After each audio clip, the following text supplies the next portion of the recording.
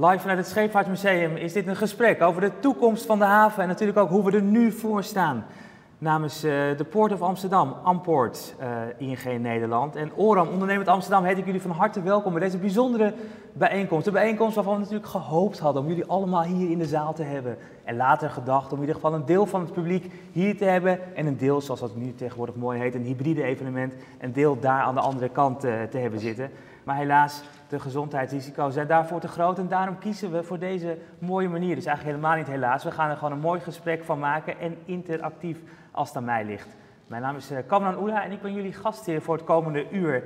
Ik heb de eer om zo meteen in gesprek te gaan met een aantal uh, bijzondere gasten. Ik stel ze alvast de eerste twee aan me voor, of aan jullie voor, want die zitten hier al klaar. Koen Overtoon, CEO van de Port of Amsterdam. En uh, aan de andere kant Tessa van den Dolder, uh, bezig met de nieuwe havenexpositie hier in het Scheepvaartmuseum. Zometeen ga ik uh, met hen in gesprek en straks ook met Magiel Bode van ING. hij is sectormanager transport en logistiek en gaat alles vertellen hoe de sector er op dit moment voor staat. Hoe we op dit moment zijn aan het veranderen van een gateway naar een logistieke hub. Maar voordat we het gesprek aangaan, ik zei het al, interactief. Dus ontzettend belangrijk dat jullie ook gewoon mee gaan doen. Uh, in MS Teams, waar je in zit, zit ook een chatfunctie. Uh, voor iedereen die Teams nog nooit gebruikt heeft, ik kan het bijna niet meer voorstellen, zoek die even op. En voor iedereen die het kent, ga er ook zo meteen naartoe. Want het zou fijn zijn als jullie al je vragen die je hebt daar ook stellen. Commentaar mag ook, maar niet te veel, want we willen wel de vragen nog kunnen blijven, blijven zien. Uh, dus heb je vragen, zet ze erin. Hier achter het scherm zitten een paar mensen klaar om die vragen direct aan mij door te geven, zodat ik ze hier ook uh, kan gaan stellen. Um, Koen, in het Scheepvaartmuseum, heb je een bijzondere band eigenlijk uh, met deze locatie of met dit museum? Ja, het vertelt natuurlijk onze geschiedenis, erg belangrijk. En, en, in de toekomst gaat het met de nieuwe tentoonstelling ook onze toekomst vertellen. Dus, dus we hebben een hele nauwe band en we zijn al heel lang betrokken bij alles wat er gebeurt bij het Scheepvaartmuseum. Uh, je zei het al, het gaat ook het verhaal van de toekomst vertellen. We gaan het er zo ook over hebben. Hè. Er is een havennota, maar er is ook een strategisch plan 2021-2025. Uh, en, en, we gaan zo even kijken wat nou daar de elementen van zijn die relevant zijn. En of er ook een plan te maken valt eigenlijk in deze coronatijden. Uh, maar eerst naar Tessa van der Dolder, projectmanager van die nieuwe havenexpositie hier in het Scheepvaartmuseum. Um, was het hard nodig om een nieuwe expositie samen te stellen? Ja, zeker natuurlijk. In 2011 was de vorige havententoonstelling geopend, dus die heeft ruim acht, negen jaar heel goed dienst gedaan. Alleen nou, de haven verandert en het Scheepvaartmuseum verandert ook. Bezoekers veranderen mee in die tijd. Dus ja, na al die jaren was het hard nodig om een nieuwe tentoonstelling te maken. En we ontkomen er niet aan om ook elke keer dat thema van corona erbij te pakken, want uh, het, is de realiteit. Uh, je was bezig met die expositie. Is dat de afgelopen maanden ook anders geworden door corona? Nou ja, zoals wij nu hier zitten, uh, doen wij dat natuurlijk ook online. Teams is onze beste vriend. Zoom, alle ontwerpsessies gaan op die manier. Normaal gesproken doen we dat met een grote groep, met een groot scherm en leuke kleurtjes en dat soort dingen. Maar nu doen we dat allemaal online. En dat gaat. We, gaan, koersen nog steeds gewoon op een opening eind november, medio december voor het publiek. Dus ik, ja, ik durf te zeggen dat het best wel goed gaat, ondanks corona en alle maatregelen. Ja. Dus eind november, half december ergens, nog dit kalenderjaar moet hij dan uh, open gaan. Laten we, ne neem ons een beetje mee alvast in de expositie. Uh, wat, wat, gaan we zien? Ja, wij zijn al, denk ik nu 2,5 jaar bezig met deze tentoonstelling. Dus dit eigenlijk het, het klapstuk, zeg maar, komt nu. Uh, de hele haven tentoonstelling gaat over de onlosmakelijke verbondenheid tussen de haven en de stad Amsterdam. Uh, je komt ook binnen in een zaal waarbij je echt ziet dat het al eeuwenlang echt nauw met elkaar verbonden is. Je ziet de haven en de stad telkens in allerlei schilderijen samen. En je ziet ook de activiteit in de haven, van het Noordzeekanaalgebied tot uh, hier aan de Oranjesluizen wordt allemaal in beeld gebracht.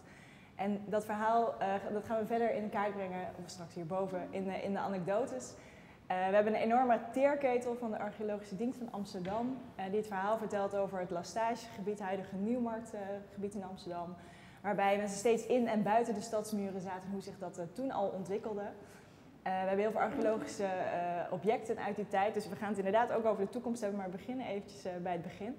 we hebben het ook over ons eigen zeemagazijn waar we nu, nu zitten. En we hebben een enorm dynamisch panorama op de achterwand. Die zijn we nu aan het opnemen. We hebben prachtige opnames gemaakt met de koperen ploeg afgelopen weken. Uh, en we hebben een enorme werkplaats in de tentoonstelling waarbij we de verhalen vertellen van de mensen die in de haven werken. We zijn nu ook bezig met de Port of Amsterdam en onder andere met uh, Damen om die verhalen op te halen van mensen die nu ook in de haven werken. Er komt een enorme gereedschapswand wat echt een nou, kunststukje moet gaan worden. En inderdaad, het eind, de toekomst van de haven. Dus hoe gaan we de komende jaren om met thema's zoals energietransitie, circulaire economie. Uh, maar ook een brug die afgelopen week weer uh, groot in het nieuws was uh, in diverse kranten. Ja. en de ruimte tussen haven en stad, dat blijft in de toekomst denk ik ook nou, een relevant thema. Ik wil ook zeggen, in beeld brengen en ook zo'n heel groot panorama. Dus dat, er zit ook echt dat, allerlei nieuwe moderne technieken ook in. Het is niet alleen maar de, de ouderwetse schilderijen of, of Nee, nee we hebben niet alleen maar vitrines en schilderijen. Ze zitten er zeker in, want daar zijn we nou wel fan van als museum natuurlijk. Maar we hebben ook interactives en games. Dus je kan een spel spelen waarbij overslag centraal staat. Uh, wat er in de haven binnenkomt en hoe zich dat uh, naar de binnenvaartschepen, maar we hebben het ook over waterstof. Uh, we hebben een woordenquiz. er zit van alles en nog wat in deze tentoonstelling. Koen, als je dit zo hoort, waar word je het meest warm van? Waar heb je nu al zin in?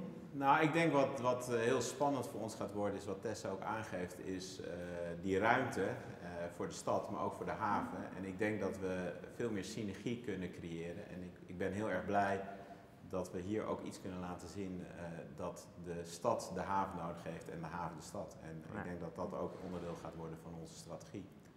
En, uh, en dat is heel mooi als je dat beeldend ook kan laten zien. Eh, Tessa, je zei het al, de doelgroep verandert. Wie is nu de doelgroep voor wie jullie deze expositie samenstellen? Ja, het is een tentoonstelling die voor vijf tot zeven jaar bij ons in het museum te zien zal zijn. In onze westvleugel, eigenlijk hierboven. Um, die staat bekend als verhalend en interactief. Dus de tentoonstelling heeft eigenlijk ook heel veel lagen. Ik noemde het net al, er zit van alles en nog wat in. Uh, de tentoonstelling is uh, gericht op Groot Amsterdam. Ik merk dat soms mensen zeggen, heeft, is Amsterdam dan een havenstad? Nou, dat gaan wij helemaal duidelijk maken aan iedereen die in de tentoonstelling langskomt.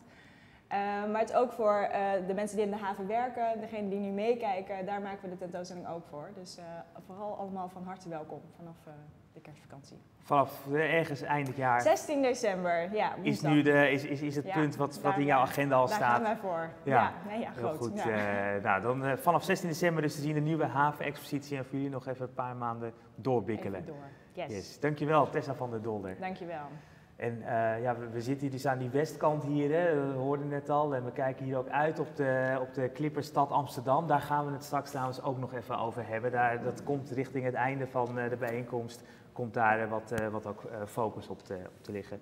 Ehm, eh, terwijl Michiel Bode zo meteen erin loopt, alvast even één vraag, Koen. Want ik, ik, hoor Tessa ook zeggen dat um, heel veel mensen die denken, is Amsterdam dan een havenstad? Herken je dat?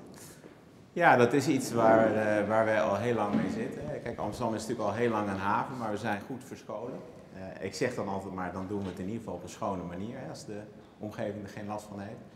Ik denk wel dat met de Westrandweg de haven ook veel zichtbaarder is geworden. Het was natuurlijk ook niet zo zichtbaar. Dat is die snelweg A5, die, die vanuit de Koentunnel ja, zo uh, richting die langs uh, Schiphol.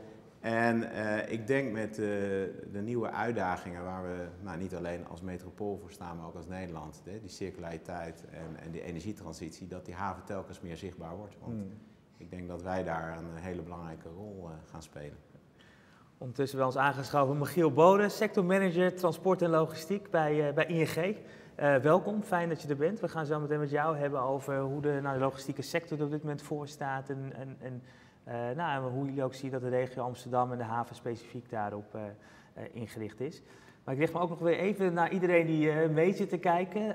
Jullie kunnen dus al je vragen stellen. Hè. Dat kan dus in de chat. Doe dat ook vooral. Als je nu al vragen aan Michiel hebt of aan Koen, nog voordat we ze echt op de inhoud gesproken hebben, dan mag dat, mag dat al. Het mag ook als gewoon een soort dummyvraag of een proefvraag zijn. Dat we even zien of überhaupt het systeem werkt.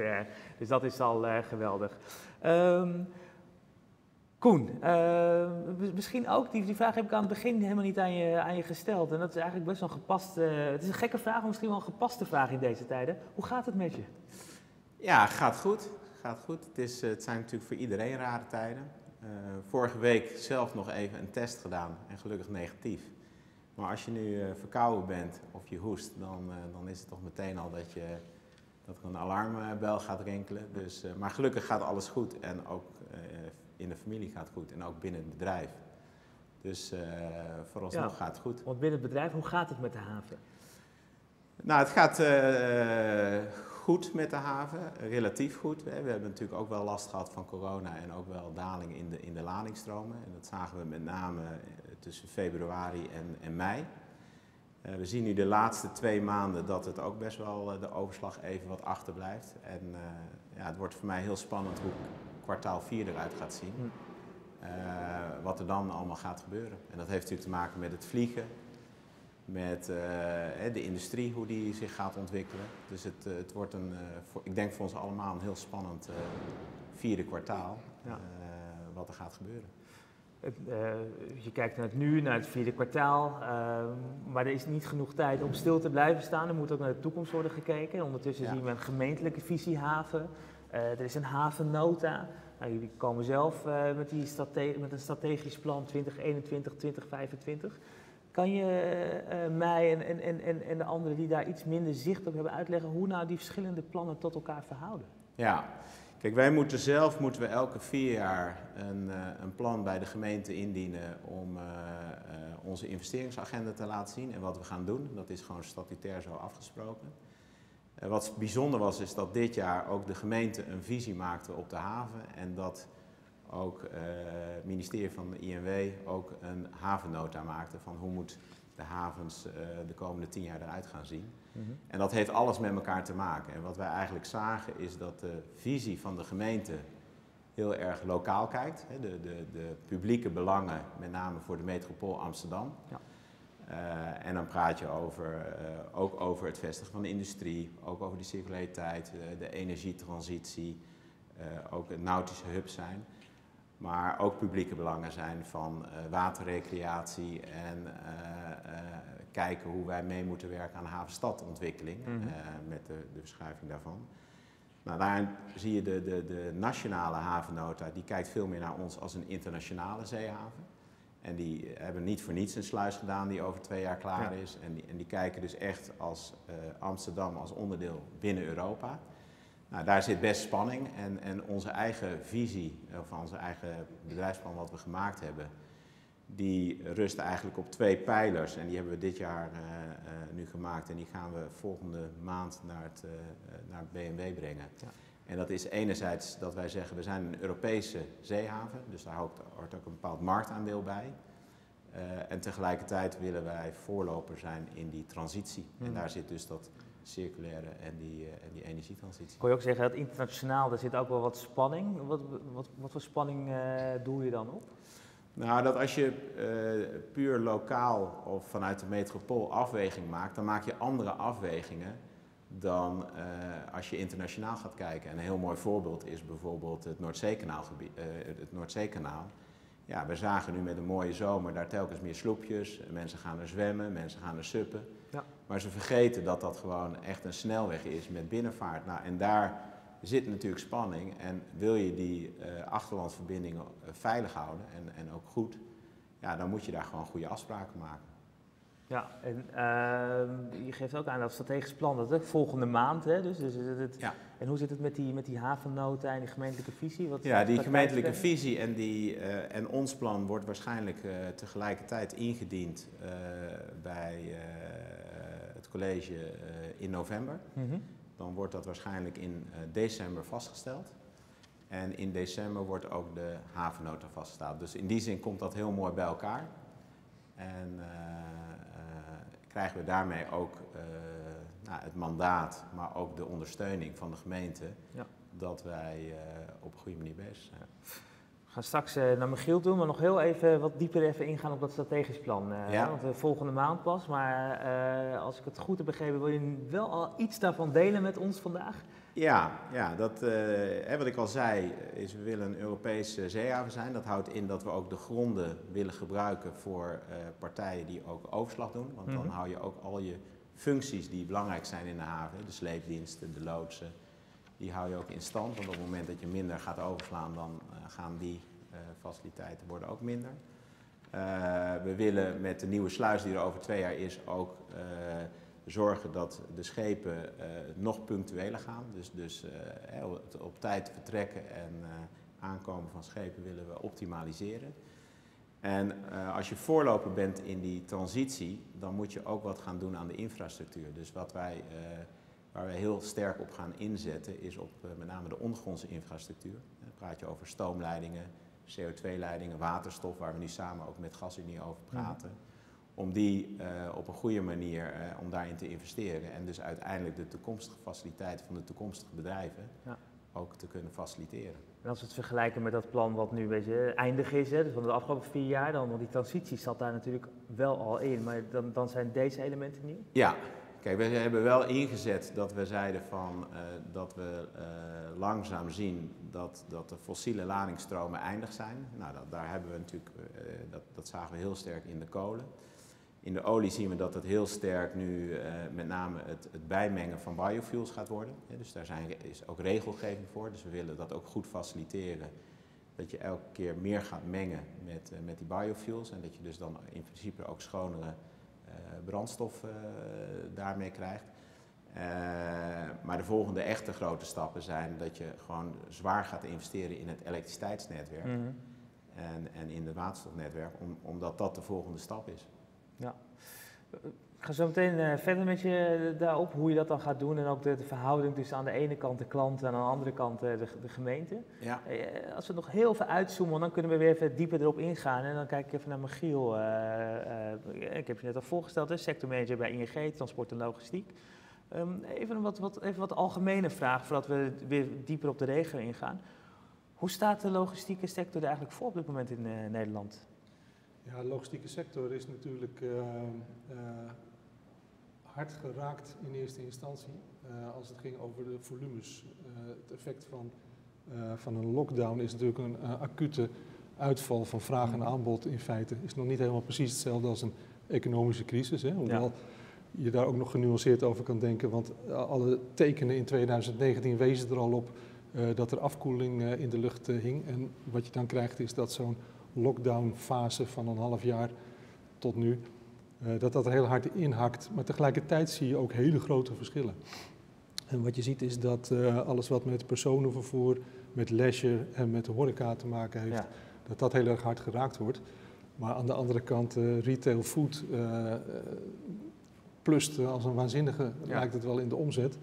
En, en ook zelfs internationaal zie je hele grote verschillen. Hè? Een, een, een sector die heel acuut uh, stil kwam te vallen uh, en vervolgens uh, verbazingwekkend weer snel terugkomt. Mm -hmm. Verschillen zijn echt heel erg, heel erg groot. ja, en dat, dat geeft in ieder geval aan dat het een, ja, op zich ook een veerkrachtige sector is. Hè. Bedrijven die in de goede mix van activiteiten zitten, die dus niet alle, alle eieren in één mandje hebben ja. gelegd die, uh, ja, die, die lijken op dit moment de situatie, ook geholpen natuurlijk door de overheid, hè, door de banken hebben ook nog een beetje meegeholpen, maar uh, belastingafdracht en alle andere regelingen die er zijn. Als je ziet hoe daar gebruik van wordt gemaakt, dan is het, lijkt op dit moment uh, de liquiditeit onder controle. Maar als je heel even verder kijkt hoe het hierna verder gaat, als er een keer terugbetaald moet gaan worden, als er, nou, kan van alles nog wat gebeuren, ja. dan is maar de vraag of die liquiditeit voor nu, of die ook in de toekomst nog zo mooi houdbaar blijkt. Vanuit allerlei sectoren zien we nu de eerste onderzoeksresultaten komen. Hoe ver zijn jullie met het onderzoek naar de, die coronacrisis uh, en, de logistieke sector? Ja, we, we, houden dat, we hebben dat eigenlijk vanaf maart zijn we dat heel nauwgezet uh, gaan bijhouden. We rapporteren er ook over. We zijn natuurlijk op een gegeven moment ook met de vier scenario's die het Centraal Planbureau uh, opleverde, zijn we zelf ook aan de gang gegaan. We hebben twee scenario's gemaakt. Eentje met een snel V-vormig herstel, eentje met een wat uh, uh, somberder scenario. En ja, het jammere ervan is dat we deze week er met z'n allen nu achter komen dat dat sombere scenario aan de deur staat te rammelen. Ja. en dat betekent eigenlijk dat, ja, dat het, het, het snelle herstel en, en dan moet je nog bedenken dat snel herstel altijd nog betekent dat je in 2021 nog niet de gaten hebben dichtgelopen van uh, eh, 2020. En dat zou dan snel hersteld zijn geweest.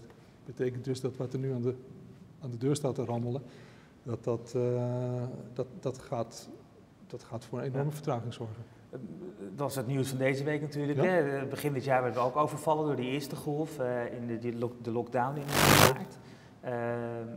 Jullie hebben een, een, onderzoek uitgebracht eind januari, ja. uh, waar naar die, uh, kijken naar de logistieke sector, waarin jullie aangaven Ehm, van hey, we moeten eigenlijk van, uh, van een gateway, hè, zoals het ja. altijd bekend staat, Gateway to Europe, Klopt. moeten we naar een logistieke hub toe gaan. Ja. Is, is, is dat nog steeds waar we, waar we in zitten of, of nou, wordt dat ook weer anders? Het, uh, ik zou bijna zeggen het grappige, maar er is weinig te lachen wat dat betreft. Maar wat corona doet is een heleboel bestaande trends en ontwikkelingen uitvergroten en versnellen. En als er nou één trend is waarvan wij denken dat die door corona wordt uitvergroot en versneld, dan is het wel uh, in feite de, de, de, de, de bediening, de traditionele bediening die we altijd van Nederland uit hadden en zeker dachten te hebben richting Europa. Dat was vorig jaar al aan verandering onderhevig. En het kan gewoon niet anders zijn dan dat dat nog sterker wordt ingezet. Ja. Het, hele, het hele gebied van Noordwest-Europa kan in steeds toenemende mate door uh, allerlei main entries eromheen uh, bediend worden. En dat betekent gewoon dat je voor de functie van Nederland, de traditionele doorvoerfunctie, dat je er heel erg voor moet opletten. Dat je moet gaan zorgen dat je het over toegevoegde waarde hebt, over verbinden. Uh, en dat lijntje kan je dan doortrekken naar, naar havennota, naar... Want dat vraagt ander soort investeringen. De investeringen die je nodig hebt om dingen heel snel ergens doorheen te halen, dat zijn hele andere dan wanneer je die netwerkfunctie wil gaan invullen. En in die netwerkfunctie daar zit toegevoegde waarde. Herken je dat uh, zoals Michiel dat uitlegt? Ja, je ziet wel dat uh, productie langzaam ook weer terugkomt. Hè. Dus wij zien een aantal vestigingen, uh, ondanks corona, blijft gewoon doorgaan. Dus, dus dat gaat op zich goed. En je ziet die ladingsstroom afnemen. Ik denk dat wij als Amsterdam wel anders zijn dan Rotterdam. Hè. Rotterdam is natuurlijk echt, echt die doorvoerhaven. Mhm. En bij ons hadden we toch ook al veel industrie, hè, zoals Tata, papierindustrie. Uh, en dan zie je dat daar al veel meer lading gewoon in de regio zelf blijft.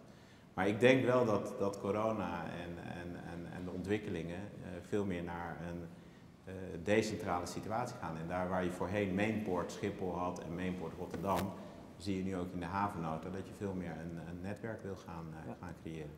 Dus ik herken dat. Ik zie wel ja, over uh, hoe het met de bedrijven gaat. Hè. Er zijn een aantal bedrijven die zijn echt meteen heel hard geraakt. Mhm. Hè. Dat is bijvoorbeeld de cruise business. Nou, die is, hè, daar hebben wij, zijn we zelf ook aandeelhouder van. Daar, daar, zie je echt vanaf dag één dat het gewoon uh, stil ligt.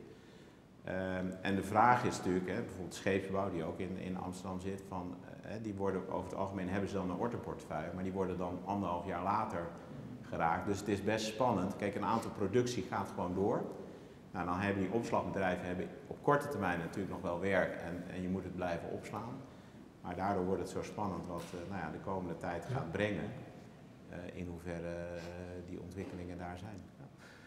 Er komen ook al vragen vanuit mensen die mee zitten te kijken. Ja. een van de vragen komt vanuit de Young Professionals en, en, en sluit hier denk ik ook wel een beetje bij op aan.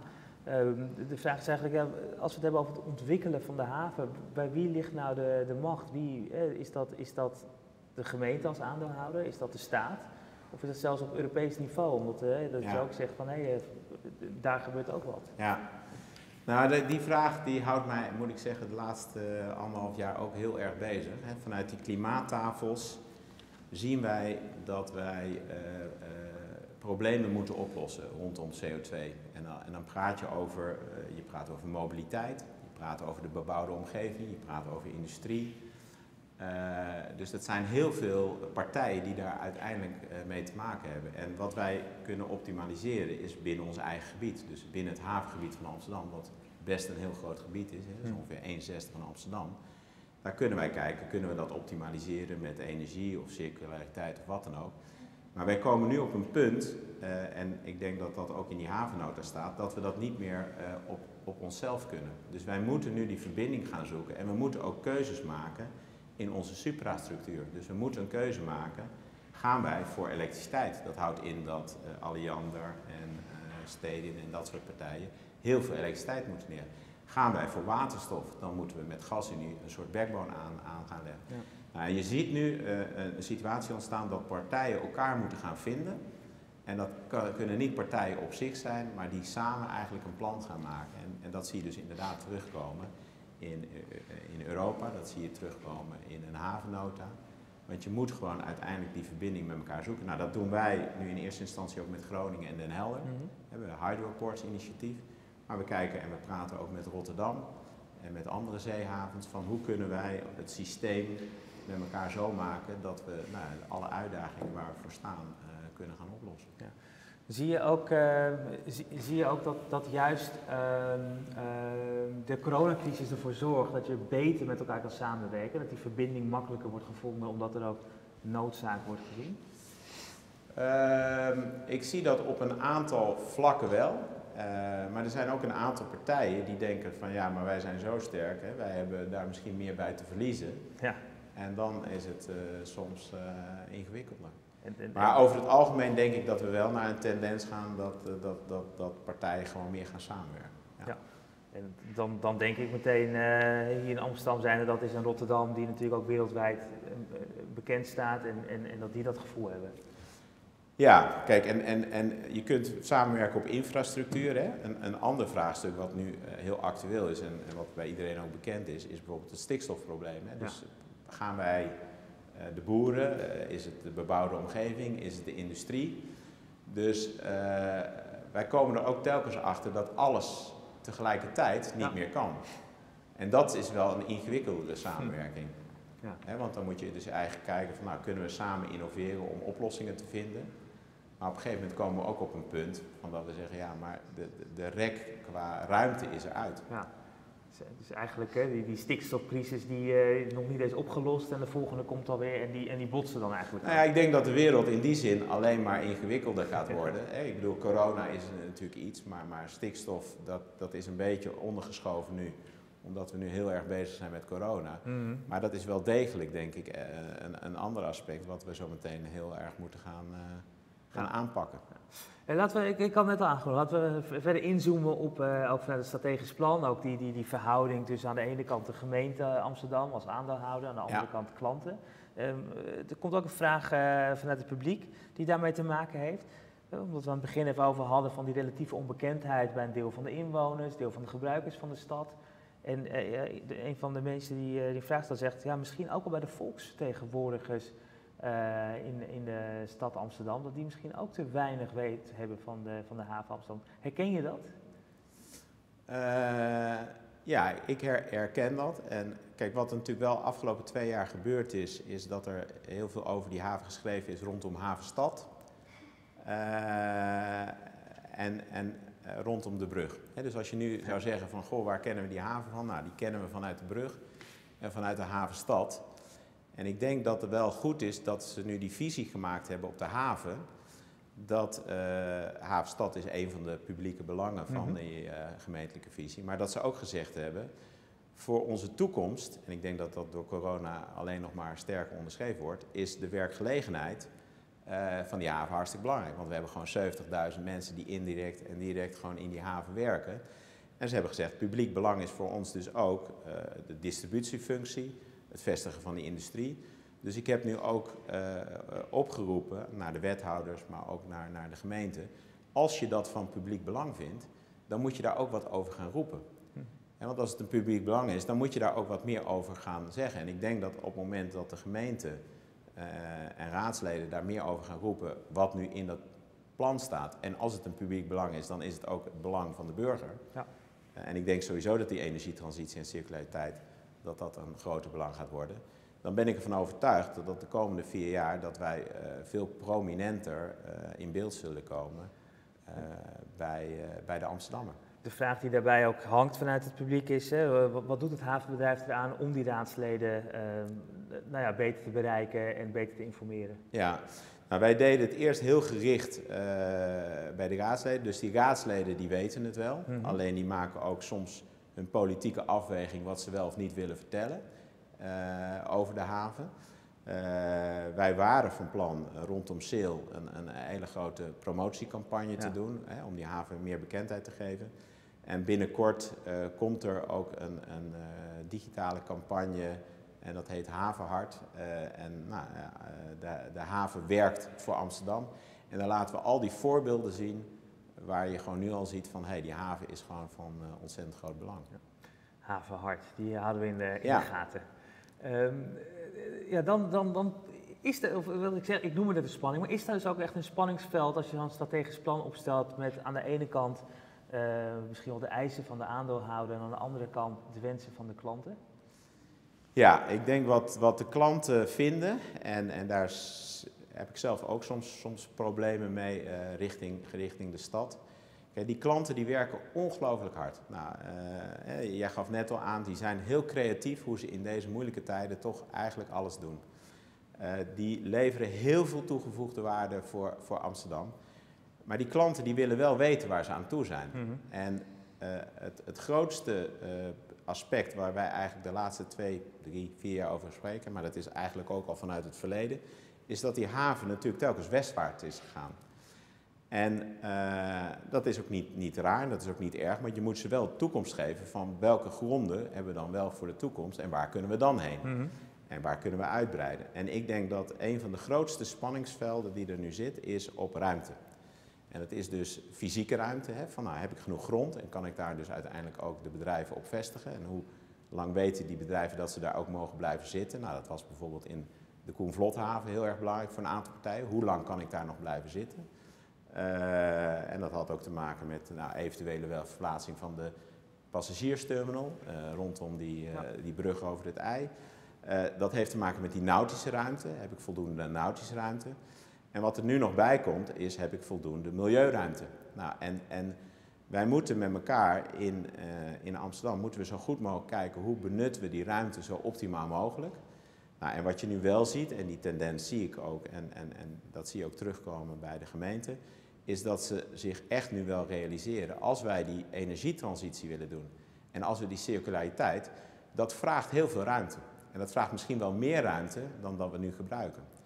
En dat bewustzijn, dat daalt nu langzaam in. Uh, en en nou, dat is onze taak om dat goed voor het voetlicht te brengen. Ja. En dat je dan uiteindelijk de goede keuzes maakt. En dat zijn dus ook pijlers in het strategisch plan? Dat zijn ook pijlers in het strategisch plan, ja. ja. Michiel, is dat een van de grootste uitdagingen voor, de, voor deze regio en voor de haven, um, die, die, circulaire economie? Of, of zie je andere uitdagingen die ja. nog belangrijker en groter zijn? Die ruimte? Ja, ik word wel getriggerd nog een keer door, uh, door wat je net zei. Uh, over die, uh, die, die combinatie van, uh, van beleid en ondernemen. Want dat was uh, in dat onderzoek wat wij gedaan hebben, hebben we die hele range van Rotterdam tot Venlo. Daar gaat de doorvoer doorheen. Daar hebben we bedrijven gevraagd om met ons mee te denken van jullie zitten hier, jullie zijn bezig met, met je dienstverlening. En waar loop je tegenaan als het gaat over hoe dat is ingericht en waar het naartoe zou moeten gaan? En eigenlijk bijna nou, zonder uitzondering kom je dan op het beeld hè, dat het toch wel redelijk mankeert aan de combinatie van beleid en ondernemen. Die, die, die afstemming, iedereen die wij geïnterviewd hebben, die heeft in dat onderzoek, die is meerdere keren gevraagd om mee te denken met uh, waar moeten we naartoe en wat moeten we gaan doen. Uh, en uiteindelijk hebben ze dan toch het idee dat het net allemaal niet landt. Nou zijn natuurlijk ondernemers, die hebben een andere dynamiek denk ik dan bestuurders. Dat zou je altijd, uh, dat zou je altijd zien. Maar zeker als het gaat over dat aanwenden van schaarse middelen en nadenken over de schaarse ruimte, is het gewoon superbelangrijk dat je degene die ook echt invulling moeten geven aan die verandering, he, die dat moeten dragen en doen, ja. dat je die gewoon op tijd erbij betrekt. Ik denk dat de bedrijven dan eigenlijk sneller gaan dan, dan heel veel instanties die eromheen hangen, die je wel nodig hebt. dus de omgevingsdienst of nou, een aantal andere partijen, doordat we zoveel regels hebben gemaakt. En die regels hebben natuurlijk wel hun nut, maar, maar die kunnen niet meer bijbenen wat, hoe, hoe snel die ondernemer gaat. En, en nou, dat is iets, kijk, hè, we, hebben heel veel met milieuvergunning gehad, dat circulariteit, dat vraagt om een hele nieuwe kijk naar je grondstoffen. Want dat is afval. Nou, en als je in een, in een, in, bij, bij omgevingsdiensten over afval hebt, nou, dan, dan gaan er allerlei alarmbellen af, omdat dat gewoon gevaarlijke uh, fietsstok is. Nou, en, en we moeten dus met elkaar kijken van hoe kunnen we toch die versnelling aanbrengen. En ik ben het inderdaad wel eens dat, dat als we dat niet doen, dan hou je uiteindelijk innovaties uh, tegen. We hebben het daarbij ook over die stikstofproblematiek. Die komt er iedere keer een beetje ja. zo uh, de, door, doorheen. Er is ook een uh, vraag over vanuit het uh, publiek.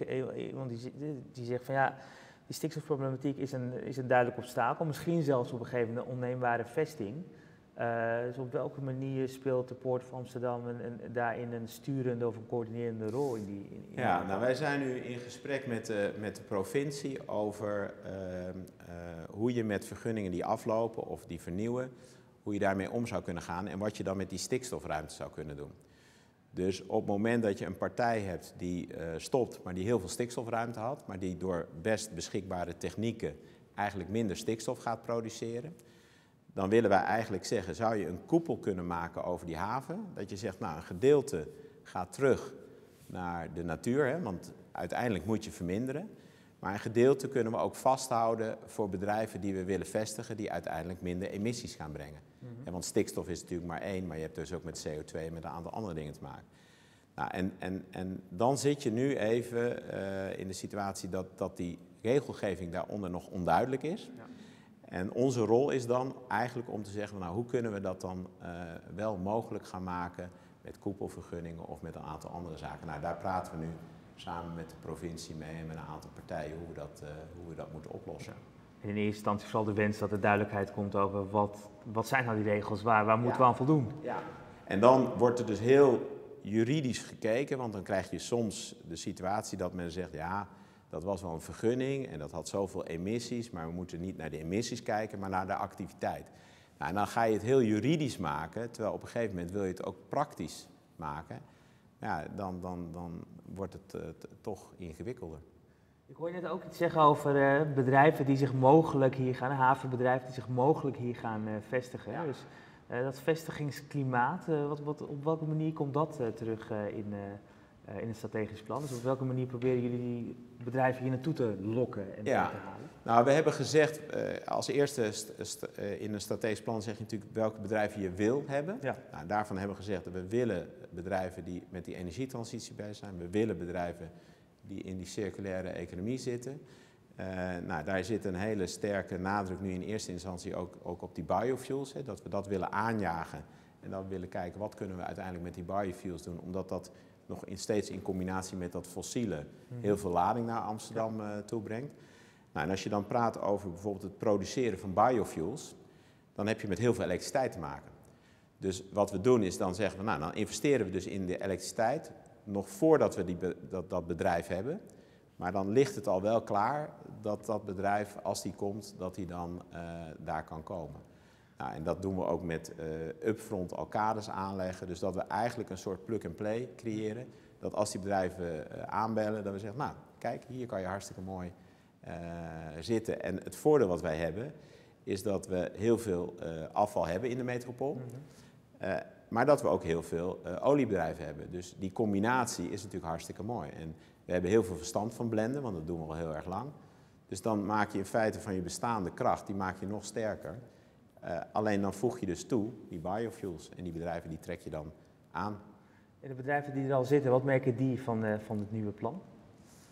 Uh, nou, we hebben het ook samen. Het is niet zo dat het alleen maar van, van ons gekomen is, hè, dit plan. Dus dit hebben we ook samen met al onze stakeholders gedaan. Dus de bedrijven hebben hele belangrijke input ook gegeven. wat ze zeiden van waar ze zelf mee bezig zijn. Hè. Dus dit zijn ook plannen die de bedrijven zelf uh, hebben en die zeggen van nou wat hebben wij nodig. Dus het is een, in die zin een beetje een, een, een co-productie.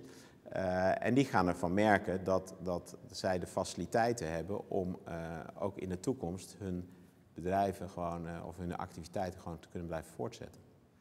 Nu hebben we het veel over die circulaire economie en, en, en op wat voor manier jullie daarop inspelen. Dat past natuurlijk ook wel bij het huidige college van Amsterdam. Dat past ook wel misschien bij het kabinetsbeleid volgend jaar landelijke verkiezingen, eh, daarna ook lokale verkiezingen. Het kan zijn dat tijd totaal gaat keren. En dan zit je met dat, uh, met dat plan. Ik nou, kan daar me voorstellen we... dan zeggen van ja meneer, u kunt wel circulaire economie willen, maar we willen gewoon heel veel bouwen. Ja. We moeten gewoon heel veel grote bedrijven aantrekken. Ja, nou kijk, daar hebben we over nagedacht. Hè. Dus we hebben gedacht van, goh, zou corona of een aantal andere zaken die nu spelen, zou dat, uh, moeten we ons plan herzien? En moet je toch niet een hele andere richting op? Uh, maar wij zijn ervan overtuigd dat uh, uh, de energietransitie en de circulariteit, dat is een pad waar je op moet gaan en waar je uiteindelijk, als je dat niet doet, je gewoon ja, een, een, een bedrijfterrein creëert wat gewoon in, in de toekomst niet meer levensvatbaar is. En dat heeft met name te maken, in onze situatie dan ook nog eens, dat je heel dicht bij die gemeente zit en heel dicht bij die stad. Dus wij moeten het nog schoner en nog beter doen om uiteindelijk ook onze license op die gronden te zeggen, nee, het is heel erg belangrijk. Stel, er komt straks opeens een uh, wethouder van Forum uh, in Amsterdam die, uh, die zich bezig gaat houden met de haven. En, en, en het is een centrum rechts-rechts college. Ja, ja dan, dan gaan jullie gewoon hiermee door. Dan... Ja, wij gaan hier absoluut mee door. Ja. Laat je niet van de wijs brengen. Nou ja, kijk, de, de, de, misschien is het wel goed. Kijk, sommigen ontkennen nog het bepaalde probleem. Maar als je ziet gewoon wat er om je heen gebeurt. Het is zo overduidelijk dat, dat wij uh, moeten kijken naar onze emissies en, en alles in ons doen en laten. Ja, dat ik heel eerlijk, mensen die dat ontkennen, dat, ik geloof dat niet meer.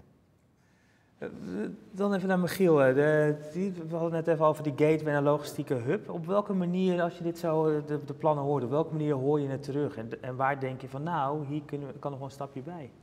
Nou, wat, je heel duidelijk, wat ik heel duidelijk terug hoor, is die focus op toegevoegde waarde in plaats van volume.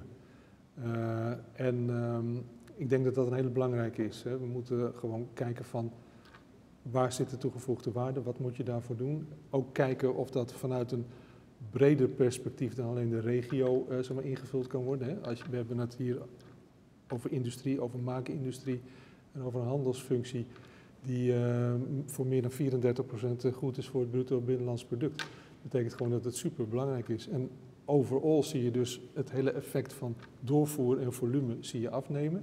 Dat betekent dus die focus op toegevoegde waarde. Maar dat kan niet anders langs lijnen van circulair, energietransitie uh, gaan lopen. Dus ja, ik herken, dat, ik herken dat heel erg. En inderdaad heb je hier wellicht misschien wel wat minder problemen dan in het zuiden van Nederland, om, de haven van Rotterdam. Omdat dat natuurlijk heel groot is, heel veel legacy heeft, heel veel dingen al gedaan heeft en misschien anders moet gaan doen. En wellicht kan je hier uh, dingen voor het eerst uh, first time right gaan doen. Hè? Dat is een enorme opportunity, denk ik. Waar, waar, waar, denk je dan aan? Wat, wat zou, wat zou, wat zou nou, dat kunnen vest, zijn? Vestigingsbeleid, maakindustrie hier naartoe halen, combinaties maken die, die, die, die verschillende trends en ontwikkelingen met elkaar verbinden. Ja. Hè? Circulair, energietransitie, innovatie, hoger niveau, beter opgeleide mensen, ander klimaat. Ja. met ja, en idealerwijs ook ander klimaat of ander, ander gevoel van well-being in zo'n stad. Hè? Waardoor je bedoel, probeert het maximale eruit te halen en je doet het waarschijnlijk toch nooit helemaal goed. Maar met elkaar inderdaad dat pad opgaan. Ja, en ik denk dat dat inderdaad zo is, hè, de toegevoegde waarde. En dan, dan, dan heeft het dus ook te maken, soms, hè, wij investeren. Uh, en welke investeringen? Er zijn natuurlijk een aantal investeringen naar de toekomst gericht, bijvoorbeeld waterstof, die nog best op dit moment best risicovol zijn. Uh, maar wij zijn ervan overtuigd dat dat wel de richting wordt. Nou, doe je ze te ver van tevoren, dan, ja, dan haal je minder rendement. En ik denk dat dat ook belangrijk is vanuit ons strategisch plan. En dat ook de aandeelhouder dat goedgekeurd heeft. Dat ze zeggen van nou, wij, ja, wij ondersteunen die plannen. En dat heeft natuurlijk, uh, nou ja, onder andere bij ons heeft het met waterstof te maken, maar, maar zo hetzelfde heb je te maken zometeen met bijvoorbeeld de CO2-afvang van een afvalenergiebedrijf. Ja. Daar moet je in investeren, nou, daar, daar maak je minder rendement op, maar, maar het levert wel veel toegevoegde waarde op, in termen ook van eh, toegevoegde waarde kan werkgelegenheid of wat dan ook zijn, maar kan ook in mijn ogen minder emissies zijn. Hè. Dat levert ook waarde op voor een regio. Nou, en dat wordt heel spannend, want aan de ene kant willen partijen, je aandeelhouder wil natuurlijk zo maximaal mogelijk dividend. Uh, en tegelijkertijd ben je aan het transformeren en dat kost gewoon geld. Nou, mm. dat is, denk ik, staat dat nu in ons strategisch plan hartstikke mooi. En daar hebben we ook de ondersteuning gekregen van onze aandeelhouder. Uh, over emissie gesproken, hè? je noemde net uh, eerder al, ergens Tata Steel, hè? belangrijk geweest in de geschiedenis van, van de haven. maar een groot bedrijf in, in de regio. Ja waar het heel slecht mee gaat. Waar het, het zomaar kan zijn dat straks daar de, de, boel omvalt. Wat dan? Nou, ik, ik denk niet dat het uh, zo snel omvalt, want het is een bedrijf wat, wat technologisch gewoon echt op het gebied van staal maken echt uh, zijn tijd ver vooruit is.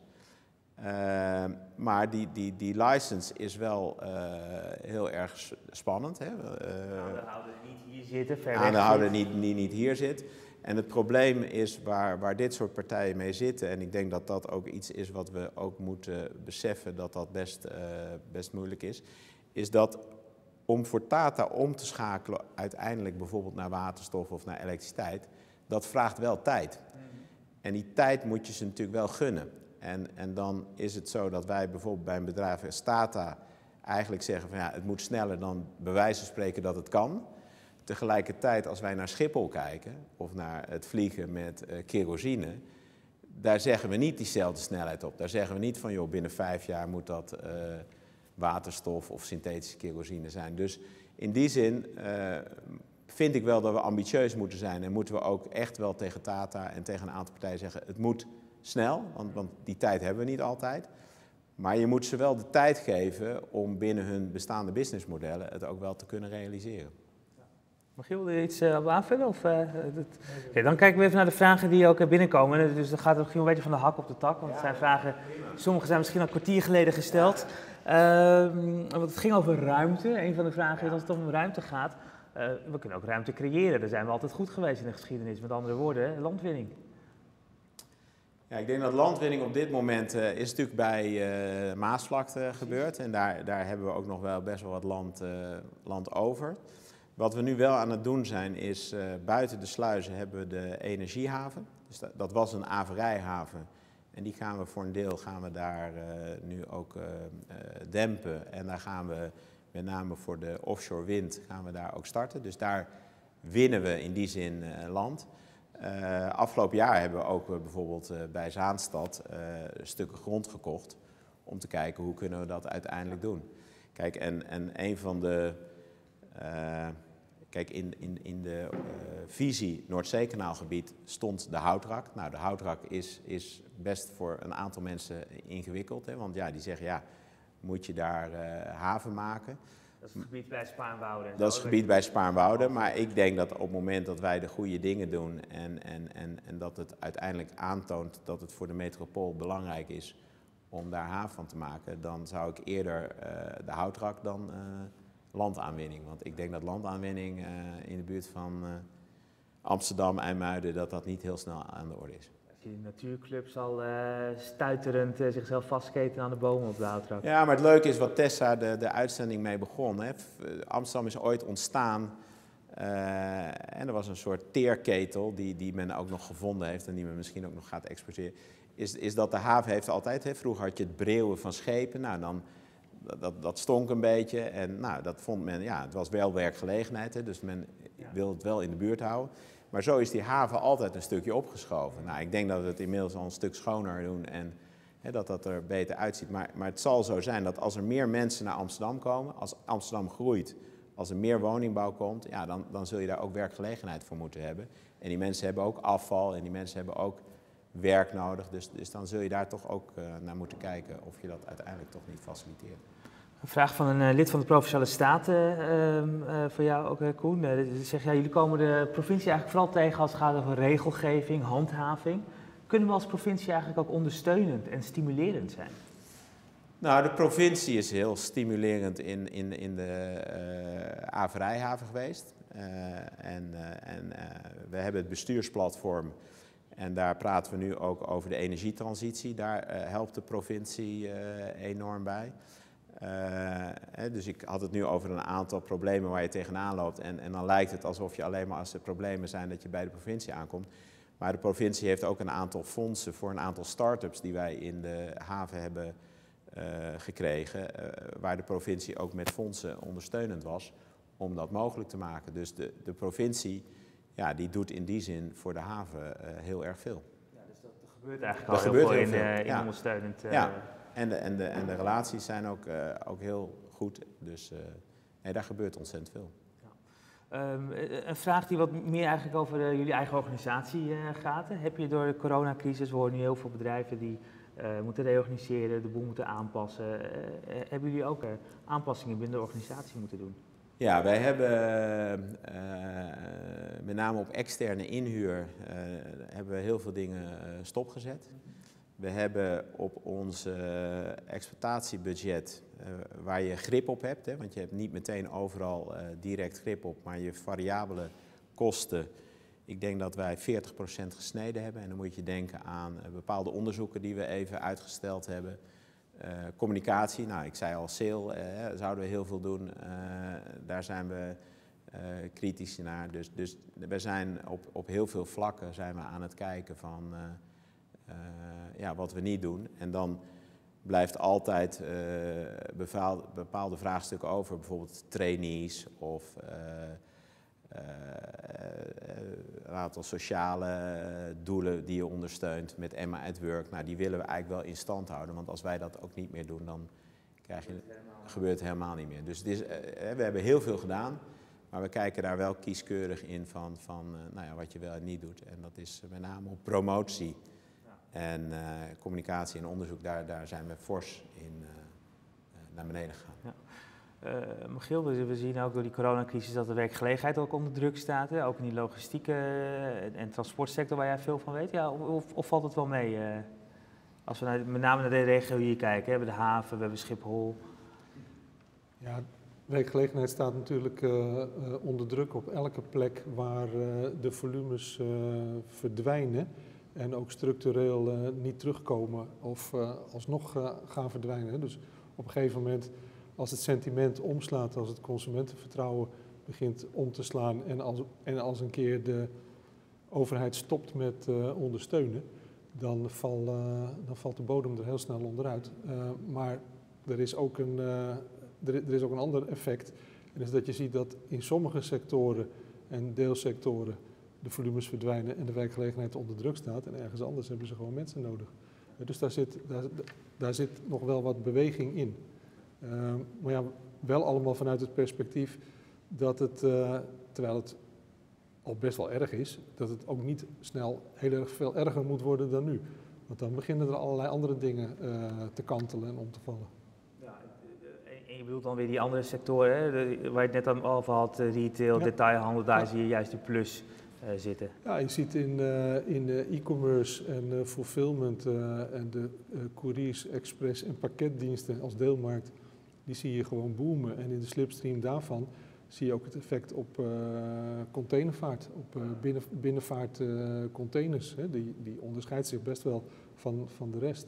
en dat betekent gewoon dat het een, een wereld wordt waarin de ellende niet eerlijk en evenwichtig over iedereen verdeeld wordt. Dus er erbij zijn die nu hun kansen ook gaan zien. En er zullen erbij zijn die echt wel in de problemen komen. Aan de andere kant, het toerisme neemt af. Uh, nou, je had het eigenlijk al, de, de, de cruise, uh, dat is natuurlijk een belangrijke aandeelhouder, zijn jullie uh, daarin. Ja. Die sector is eigenlijk min of meer tot stilstand gekomen, zeker richting Amsterdam. Ja. dat is natuurlijk de ene kant.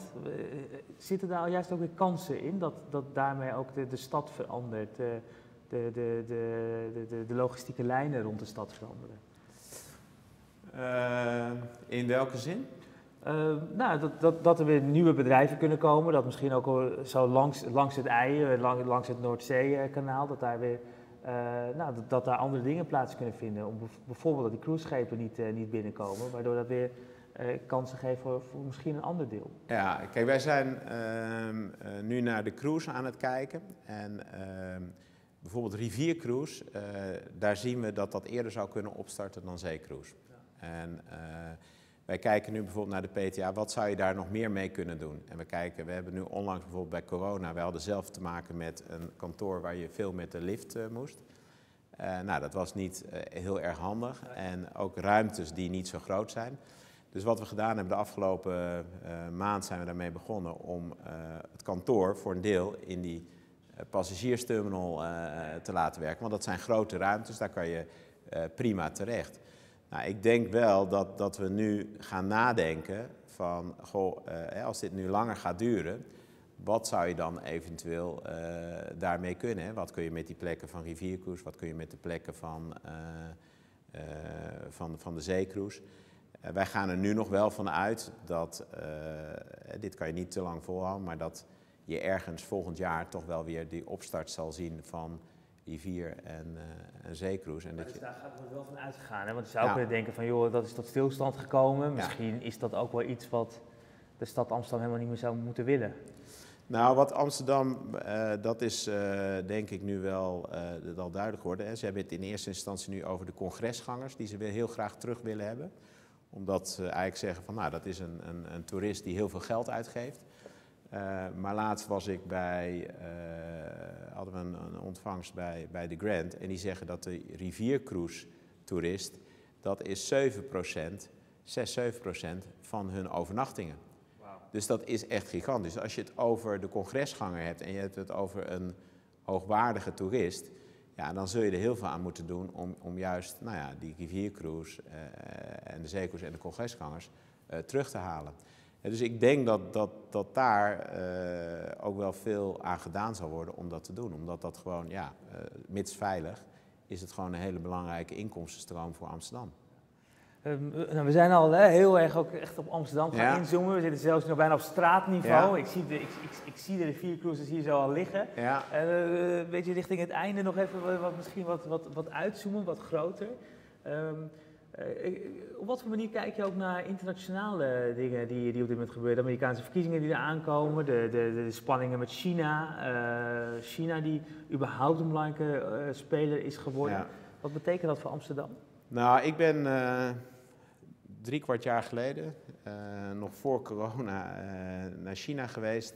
in een soort inspiratiereis bij verschillende steden en, en bij verschillende bedrijven. En ik maak me wel zorgen voor Europa. Als je kijkt vanuit China naar Europa, dan ben je in een stad en dan is daar al alles elektrisch. Uh, je hoort niks meer, omdat het gewoon al, al veel verder is dan uh, waar we zijn.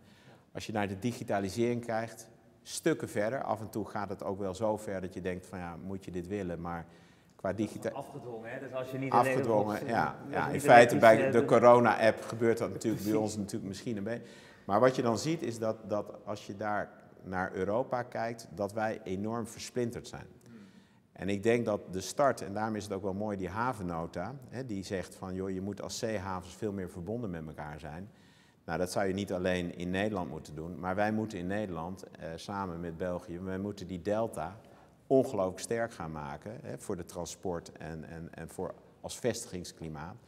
En als wij niet gaan samenwerken op digitalisering en infrastructuur, en dan praat ik over uh, walstroom in combinatie met elkaar, over waterstof, over digitalisering, ja, dan gaan wij als Europa, worden wij uiteindelijk gewoon een soort ontwikkelingsland over 30, 40 jaar. Dus we moeten onze voorsprong houden en dat moeten we dus doen vanuit die samenwerking. En dat zie je heel goed als je in het buitenland bent. Nou ja, nu de Amerikaanse verkiezingen, ik maak me daar gewoon echt, echt ik dacht er vanochtend nog na, ik dacht, ik dacht van ja, dat kan toch niet dat uh, twee potentiële presidenten zo met elkaar... Uh, Zoals we het gisteren hebben gezien ja, in het debat, uh, hoe men ja, met elkaar omgaat. ja. Ik, vind het, ik vind het eigenlijk niet te geloven. En ik maak me daar ook wel zorgen over. Ik kan me ook voorstellen dat, hè, want als Amerika, nou, naar China trouwens, even in bijzin hoor ik wel zeggen, toch een scenario schetste. Ik denk, wow, we, we zouden een soort ontwikkelingsland kunnen worden als we, als we nu niet die samenwerking aangaan. Dat we gewoon helemaal overrompeld worden door een land als China. Maar kijk, wij willen allemaal naar die samenwerking en wij moeten allemaal naar die samenwerking. Nou, en ik denk dat, dat, dat de mensen die je dus nu daar ziet, hè, eh, in Amerika of in China, ja, daar zie ik niet uh, die samenwerking of die uitgestoken hand. En, nou, en dat, daar maak ik me wel zorgen over. En of het nou inderdaad China of Amerika is, of het is in Europa de brexit. Het is natuurlijk ook ongelooflijk wat daar gebeurt. Uh, dan denk je dat je een afspraak hebt en uiteindelijk heb je geen afspraak. Ja, ik maak me daar wel, uh, wel zorgen over, ja. Dichter bij huis, noemt al de brexit, maar ook Duitsland. Hè, dat komt ook uh, volgens een opvolger voor, voor Merkel. het kan ook weer een ja. andere kant op, opslaan. Want ik hoorde bijvoorbeeld zeggen, de samenwerking die er nu is met Den Helder en Groningen. Is dat ook bijvoorbeeld met, met Duitse havens, een, een Hamburg of uh, wij hebben nu uh, een, een, een, samenwerkingsverband met Duisburg. Dus we hebben ook sinds kort een, een, een trein tussen Duisburg en, uh, en, Amsterdam. En kijk, als je over zo'n delta-systeem gaat spreken, dan, dan, dan, is het natuurlijk overduidelijk dat daar ook Duitsland een hele belangrijke rol in speelt vanuit het achterland. Want, die, als je op die, op die, wereldkaart kijkt, als we nu wat over China hebben, dan is Nederland een stip. Hè? Dan, dan, is het dat we het hier over Amsterdam hebben, dat stelt natuurlijk niets voor. Ja, ik denk uh, dat het perspectief uh, vanuit China, kijkend hier naar West-Europa en naar Nederland, ik denk dat ze daar helemaal niet eens, uh, wij spreken, het verschil misschien zien tussen Rotterdam, Amsterdam en Venlo. want voor hun is dat allemaal in een cirkel van erg behapbaar in hun, in hun filosofie, denk ik. Maar wat wel heel erg belangrijk is, is dat, nou, wat jij net al aangaf, hè, de besluitvorming en de richt, richtinggeving in zo'n centraal geleide economie is natuurlijk van een hele andere orde. Uh, wij zijn redelijk uh, versnipperd in onze reactie. En wat we zien, ook als je kijkt naar het, zeg maar, het, vanuit het zijderouteperspectief, als je dan kijkt waar China mee bezig is, en je kijkt naar dat Noordwest-Europa, zijn ze overal bezig posities in te nemen. Kleine stapjes hier, bedrijfje hier overnemen, groot bedrijf daar overnemen. Hier een aandelenpakket, haven van Piraeus, in diverse centrale en Oost-Europese landen posities innemen. Die nemen gewoon die nemen gewoon al hun posities in. Ja, posities innemen, dus dat, dat is iets anders dan samenwerken. En dat is iets anders dan samenwerken, ja, ja dat, absoluut. En, en wij kunnen dan denken dat dat ook samenwerken is, maar dat is het gewoon niet. Ja, dus dat, herken je dat? Dat je, dat je, dat je, ja, nee, kan, kan je een nou, voorbeeld nou, zij, wij waren daar bijvoorbeeld, nou, wat er met Hongkong gebeurd is. Mm -hmm. Dus je ziet daar, als je daar in China bent, dan zie je een maquette dat ze een haven naast Hongkong bouwen, puur om Hongkong gewoon even helemaal weg te vagen. En uh, ze zitten in, uh, of ze gaan naar uh, Oost-Afrika, daar willen ze een hub bouwen. Dus zij gaan inderdaad, nou ja, wat jij zegt, ze gaan gewoon hun, hun, hun tentakels gaan ze langzaam verder uitbreiden. En dat, ja, dat, is, dat is best. Maar ook, maar ook dat voorbeeld van die tentakels die daadwerkelijk hier zitten, dat, dat, ja. dat de bedrijfjes worden overgenomen als je dan opeens bij de KV Koophandel aankomt, dat het blijkt dat inmiddels een, uh, de grote aandeelhouder in China zit. Is dat, is dat wat echt Nou, je ziet gebeurt? dat ze met name naar de... Kijk, als je de logistieke knooppunten hebt, dan heb je natuurlijk heel veel te pakken. Ja. En uh, nou ja, ik heb partijen als Hutchinson, uh, nou, er zijn heel veel partijen die, die... En zij hebben gewoon belang in die infrastructuur in, in Europa. Wat zij, wat zij ook heel vanuit logistiek uh, oogpunt, dat is dat, uh, en ze hebben natuurlijk, ze kunnen op de korte termijn kunnen ze beslissingen nemen, heel snel, met een visie van een hele lange, met een hele lange focus, zeg maar. Dus dat is al heel, heel apart. Maar zij, uh, maar zij realiseren zich ook heel goed dat ze balans moeten creëren in die wereld, in die logistieke wereld, over dat continent heen. Dus ze hebben er niks aan als ze alleen maar spul hier naartoe kunnen sturen. Ja ze moeten ook zorgen hè, dat ze dingen terugkrijgen. En, want als er geen balans is, dan wordt het nooit een sustainable uh, model, zo'n zo supply chain. Het ook raken in, uh, in, in, het systeem hier. En dus gaan ze aan de andere kant zitten, zodat zij degene zijn die het terugsturen. Dus op een gegeven moment krijgen ze posities waarbij ze het zowel heen als terugsturend onder controle hebben. En dat is het spelletje wat ze spelen. We zijn er nog ruim 10 minuten, dus als er nog mensen zijn die vragen hebben, stel ze dan vooral nu. En het mag dus echt over alles gaan. Volgens mij is dat net wel uh, duidelijk geworden. Hè. We gaan soms uh, echt uh, allerlei zijpaden in. Ik denk dat de, de, de strategie wel geschetst is zo aan het begin. Tenzij, we, hoor ik zo graag van je Koen, of we nog iets vergeten zijn. Maar eerst hebben we een vraag die komt. De Nederlandse vinding, H2 Fuel, als batterij voor de scheepvaartindustrie in de stad Amsterdam. Hoe kan Port of Amsterdam bijdragen dat dit er gaat komen in de haven? Nou, wij hebben subsidie gekregen om een, uh, een schip op waterstofkorrels uh, uh, te maken en of dat werkt. dat schip dat wordt nu ontwikkeld en dat wordt zowel circulair als dus middels die waterstofkorrels. En ja, ik ben niet heel technisch, maar die waterstofkorrels in combinatie met water zorgt dan dat dat, dat, dat, dat in, in plaats komt voor de, de, de gewone fuel die, die je nu hebt. Uh, en dat ziet er zeer veelbelovend uit. En als dat een succes is, dan zou je dit ook kunnen doen voor de binnenvaart en uh, ultiem voor, voor veel meer mobiliteit. En dat is best veilige manier, omdat het waterstofkorrels zijn. Nou, hier werken wij uh, op dit moment aan met, uh, met universiteiten. En ja, ik ben heel benieuwd hoe dat uiteindelijk, of dat price-wise uiteindelijk een, een solide businessmodel kan worden. Zie je ook dit soort innovaties en onderzoeken bij, rond, bij universiteiten op dit moment een beetje onhold staan, dat daar vertraging in oploopt? Of zie je juist de innovatiekracht en slag? Nee, deze, op dit gebied zie ik niet dat, dat het onhold wordt gezet. Dus hè, dit gaat, sterker nog, wij hadden een, we deden dit project en doordat er meer tijd over was, uh, is het misschien zelfs sneller gegaan. Had men meer tijd ervoor. Dus uh, nee, dit werkt, uh, dit werkt alleen maar versnellend. Ja. En wij zien eigenlijk, kijk, er zijn natuurlijk een aantal start-ups die echt wel last hebben van, van corona en om geld op te halen. maar als ik heel eerlijk ben, dan zie ik in het circulaire zie ik dat er eigenlijk geen hiccups zijn en dat dat dus niet vertraagt. Ja. En ik denk dat, dat, dat, dat waterstof en, en, en high-to-fuel, dat dat ook echt wel de initiatieven gaan zijn die uiteindelijk heel succesvol zullen worden. Um, nou, ik, ik, zei net al, zijn er nog dingen over trouwens uit het strategisch plan? Op een gegeven moment zijn we naar vragen uit het publiek ook uh, gegaan, maar zijn we, zijn we elementen vergeten die, nog, die we nog moesten benoemen? Of die jij wilde benoemen? Want, uh... Nee, ik denk dat, dat uh, het meeste heb ik gezegd. Hè. Dus het zit in, in, in die ondergrondse infrastructuur, wat ik zei. Het zit in dat, dat optimaliseren van, van de scheepvaart. En dat je dus eh, die keten betrouwbaarder maakt. En dat kan natuurlijk heel sterk door digitalisering.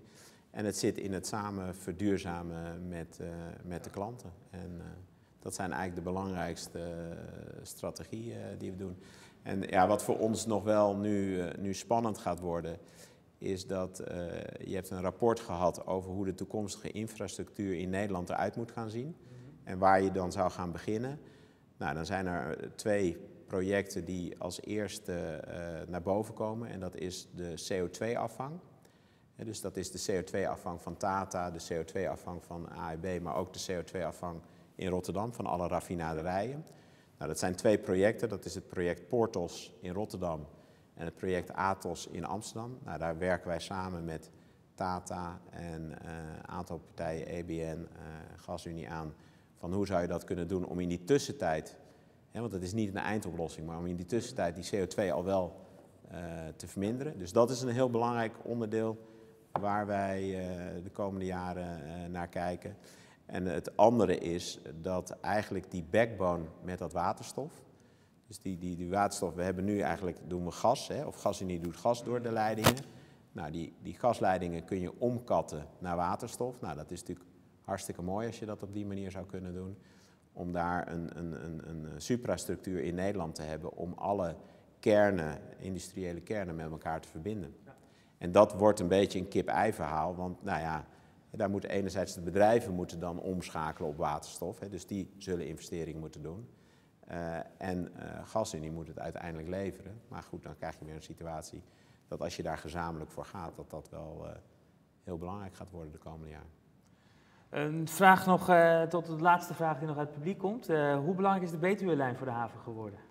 Ja, dat is een goede vraag. De, de, de Betuwe-lijn en, en sowieso spoor is ontzettend belangrijk. En uh, kijk, vanuit het Amsterdamse havengebied gaat ongeveer een vierde van wat er naar het spoor grensoverschrijdend gaat, gaat vanuit ons gebied. Hè, dus dat is inclusief Tata. En wat je gaat zien is dat als je naar multimodaliteit wil gaan, dus naar binnenvaart en spoor, en om een robuust systeem te hebben vanuit die delta, dat we zien dat de, de achterlandverbindingen per water soms niet bereikbaar zijn door weersomstandigheden. Dus dat water wordt lager of het wordt te hoog, waardoor je niet onder bruggen kan. En wij moeten, om een robuust systeem te hebben, moeten we dus al die modaliteiten kunnen aanbieden. En dan uh, is spoor en de Betuwelijn uh, bij uitstek uh, is natuurlijk ontzettend belangrijk. Het nadeel wat wij hebben is dat we via het gemengde net op de Betuwelijn moeten komen. Maar het aantal slots voor, nou ja, zowel vanuit Duitsland naar Amsterdam-Rotterdam of vanuit Amsterdam-Rotterdam naar Duitsland is ontzettend belangrijk. Als ik hier de laatste vraag ga stellen, roep ik vooral de mensen op die thuis zitten mee te kijken om niet, uh, om, om niet weg te gaan denken van ach, het is toch bijna afgelopen, want we hebben zo nog een verrassing. Uh, die ik overigens aan het begin al verklapt heb. Maar uh, Michiel, jullie zijn dus nu bezig met het onderzoek naar de effecten van corona op de sector transport en logistiek. Wanneer kunnen we dat rapport verwachten en, en kan je al iets zeggen wat daarin staat? Volgende week dinsdag 6 oktober. Kijk, heel concreet. Ja. En, uh, dus, dus, het lijkt me dat jij al een eerste versie gelezen hebt. Ik heb, uh, ik heb meerdere versies uh, gelezen. En vanmiddag hebben we daar nog een eindgesprek over, ook met de gasten aan tafel. Want dat wordt ook door middel van een webinar ja. gepresenteerd. niet in zo'n mooi museum als dit, maar in een hele gewone, wel een hele goede studio op het Mediapark in Hilversum. ja, de, de, de uitkomsten daarvan zijn, we, we hebben heel lang over de titel nagedacht. Uh, en de titel waar we op zijn blijven, uh, blijven steken op het allerlaatste moment, dat was uh, crisis, vraagteken, kansen creëren, uitroepteken. het is een beetje een herhaling van zetten van de crisis van 2009. Uh, want toen hebben we ongeveer hetzelfde gedaan. En, en wat gebleken is, is dat er inderdaad gewoon enorme opportunities zijn voor hm. bedrijven die op tijd schakelen. Hm. Hè? Op tijd schakelen, in de goede versnelling uh, doorgaan. en in dat rapport geven wij een aantal handvaten van ja, wat, zijn, wat, zijn de, wat zijn de dingen die koplopers die op dit moment, niet dat ze het makkelijk hebben, maar wel dat ze erg hun best moeten doen en toch de boel onder controle kunnen houden. En wat zijn de dingen die zij gedaan hebben, die hun misschien af en toe wel heel makkelijk af lijken te gaan. Maar wat zou je daarvan kunnen leren? Wat zou je daarmee kunnen? Nou, dat staat in het rapport. Ja. We gaan het erover hebben. Dinsdag, uh, 6 oktober uh, komt dat rapport uit. Uh, Koen, nou, nu bezig om de laatste hand ook te leggen aan dat strategisch plannen. Volgende maand moet, dat, moet dat gepresenteerd. Um, even een stap voorwaarts. Het is 2025. Amsterdam bestaat 750 jaar. Sale gaat gewoon door. Ja. 50 jaar sale, daar, daar, staan we dan. Ja. En je blik zo terug. Waar ben je het meest trots op van wat, uh, van, van wat er bereikt is in die voorbije 4, 5 jaar? Nou, ik denk het eerste, maar dat zijn, we hebben natuurlijk al veel eerder ingezet, is uh, die nieuwe sluis waar die schepen dan doorheen komen. En uh, die is in 2022 klaar. Maar ik denk dat het meest trots van het huidige plan is dat we een, een, een verdere stap hebben gemaakt in onze uh, omzet niet fossiel. Hè, dus dat we daar weer een stap hebben gemaakt. En dat er een, een infrastructuur klaar ligt die voor de huidige bedrijven genoeg biedt om, om nog jaren door te gaan in de Amsterdamse haven. Kijk, dat, daar houden we je dan maar aan voor, voor, voor dat moment. Uh, heren, mag ik jullie onwijs uh, danken. Koen uh, Overtoom Magiel Bode. En ik mag jullie zo dit boek overhandigen. Het Scheepvaartmuseum Verhalen over de Zee in, in 100 iconen. Ik leg hem zo Dankjewel. keurig ja. corona-proof ja. op, op tafel. En ook voor jou, Magiel. zeer veel dank. Ja, en ik dank jullie alle namens de van Amsterdam, Amport, ING Nederland, het Scheepvaartmuseum waar we zijn en natuurlijk Oram Ondernemend Amsterdam voor jullie uh, bijdrage in de, in de vragen. Dat hielp mij ook om dat gesprek uh, levendig te houden, uh, maar ook voor jullie aanwezigheid. En tot slot, ik zei het al, een kleine verrassing. Want hier, wij kijken er heel mooi op uit, ligt de Clipperstad Amsterdam. Die ligt er sinds september, ligt er nog tot in het voorjaar van 2021. Dus wanneer je zo vanaf half december die tentoonstelling gaat bezoeken, hierboven in de Westvleugel van het Scheepvaartmuseum, die, die, de expositie over de, over de haven, over het verleden en de toekomst, kan je ook even een kijkje nemen hier op de Clipperstad Amsterdam. Maar wij kunnen nu al naar de machinekamer gaan schakelen namens Amport. Want die, die, die, die staan daar, die laten het van binnenuit zien. Want ook deze Clipperstad Amsterdam, het is onvoorstelbaar, is niet meer wat het geweest is. Maar is helemaal klaar voor de 21ste eeuw. Dank voor het kijken en tot een volgende keer.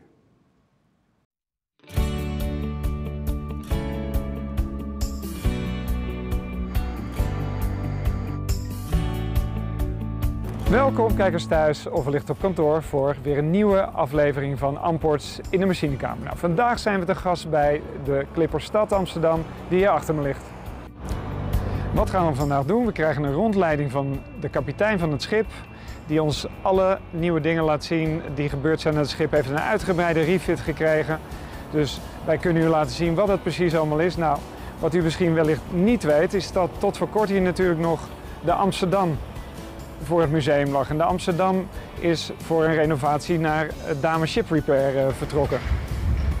Nu ligt daar in de plaats daarvan de Clipperstad Amsterdam. En dat is voor ons natuurlijk een uitermate goede gelegenheid om u te laten zien wat dit schip allemaal herbergt. Gaan jullie mee?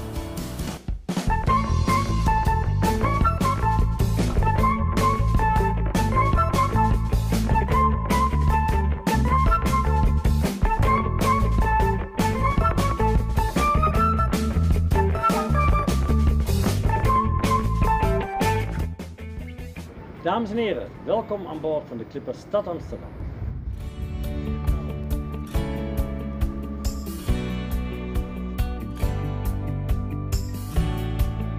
De Clipper Stad Amsterdam is een, uh, ja, geen oud schip. Het lijkt wel heel traditioneel, maar het is een modern schip in een traditioneel jasje. 1995 tijdens Sail Amsterdam heeft de oprichter van Randstad uh, en wat wethouders samen uh, dat gevoel gehad dat Nederland toch wat ondergerepresenteerd is tijdens de zeil met grote schepen. Uh, dus toen kwam het plan van die twee partijen om samen een schip te bouwen om Nederland, de gemeente en ook Randstad in de wereld te kunnen vertegenwoordigen. En in 2000 uh, was de Clipper dan klaar en is toen gekomen als vlagschip van, de, van Sail Amsterdam. De Clipper is ja, net geriefit. dat heeft een behoorlijke tijd geduurd. We hebben uiteindelijk acht maanden ongeveer gelegen bij Dame Shipyard in Den Helder. Het idee was dat schip groener te maken, more sustainable en dus ook fit voor de toekomst. Uh, wij hebben onder andere een nieuwe hoofdmotor met een uitlaatgaszuiveringsinstallatie. We hebben kleinere generatoren gekozen en daarvoor een batterijsysteem wat de pieken in het verbruik opvangt, zodat je dus minder verbruikt, minder uitstoot.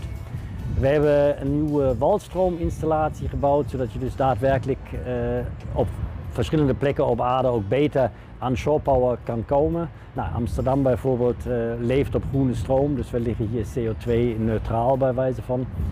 Daarnaast hebben we natuurlijk groot onderhoud aangepakt, dingen die je niet zomaar kan doen. De kombuis is uh, vernieuwd, of niet helemaal vernieuwd, maar wel gemoderniseerd. Wij hebben ook de tienjaarlijkse survey voor de terrage gedaan. Dus al die masten uh, tot en met de onderste rij zijn eraf geweest. Alles lopend wand, alles staand wand is uh, nagekeken waar nodig vernieuwd. We hebben ook een nieuwe hoofdmast gekregen in dat geval. Uh, daar zaten wat slechte plekken in.